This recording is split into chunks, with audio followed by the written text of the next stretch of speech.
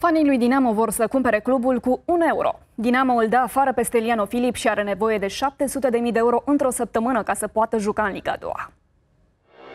Dinamo are nevoie de un buget de peste 2 milioane de euro în Liga a doua. Ca să nu falimenteze, Dinamo trebuie să strângă 700 de mii de euro într-o săptămână. Datoriile sunt mult mai mari.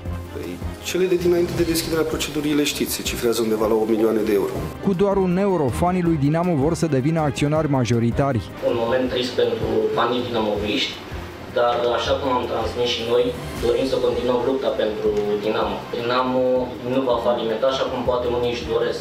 Dinamo se va reuni săptămâna viitoare cu un nou antrenor. Mihali e alesul.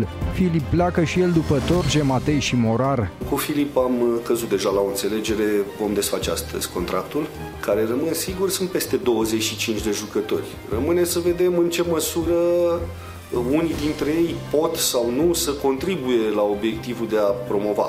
Urmărește cele mai tari show-uri integral pe ProTV+.